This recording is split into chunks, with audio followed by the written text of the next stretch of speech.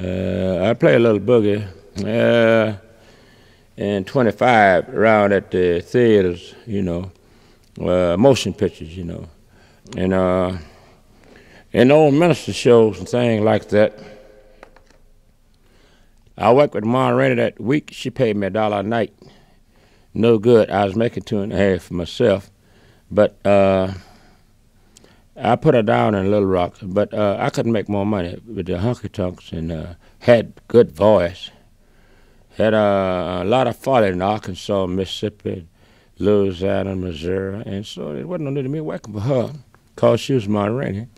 And I, well, she said B flat sometimes, she'd stop off a song, it'd be E natural, uh, E ma- D major or something. And I wasn't used to the keys in those days, you know.